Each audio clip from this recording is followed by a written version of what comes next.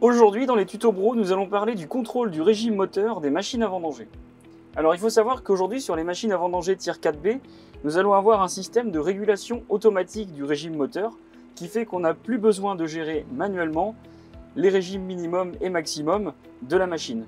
On va quand même retrouver deux curseurs qui se trouvent sur la coudoir, mais l'idéal avec une machine équipée d'une tête de récolte ou encore d'outils de polyvalence partenaire, c'est de ne pas toucher à ces accélérateurs et de laisser la butée minimum en position mini et la butée maxi en position maxi.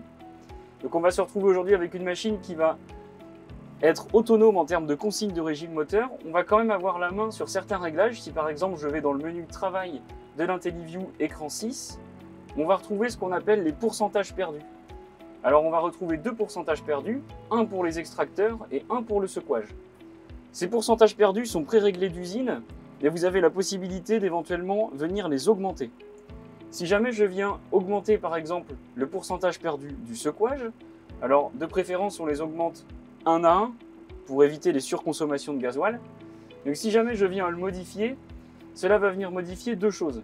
La première, ça va être la vitesse minimum du moteur thermique requise pour atteindre la vitesse de secouage demandée. Et la deuxième, ça va être le débit d'huile envoyé à mon moteur hydraulique de secouage pour pouvoir lui donner plus de vitesse. Donc en fait, on va venir modifier ce paramètre si jamais la machine a des difficultés pour atteindre les vitesses de rotation du secouage. Et donc de la même manière pour les aspis, on a la possibilité de modifier ces pourcentages perdus. Donc je vous rappelle, si jamais vous avez la nécessité de devoir toucher, de devoir changer ces pourcentages perdus, il est préférable de les modifier de 1 à 1 pour augmenter vraiment très progressivement le débit d'huile ainsi que le régime moteur demandé. Ça sert à rien d'augmenter de 10% d'un coup puisque on va venir en même temps augmenter la consommation de gasoil de la machine.